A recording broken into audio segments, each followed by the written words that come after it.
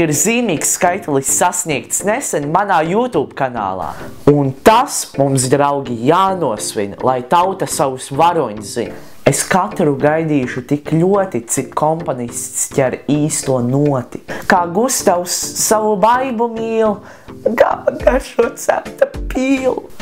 Ja gribi atnākt, ielāgo to datumu tik zīmīgo un spicē, kur tas AB parks, pie durvīm stāvēs parka sargs. Viņš skaitīs tos, kas ienākt grib, jo, protams, daudziem acis zib, bet pasākums bez maksas tiem, kas pirmie klāt uz vietu skrien un aprakstā zem video ir viss, kas man jums jāziņo.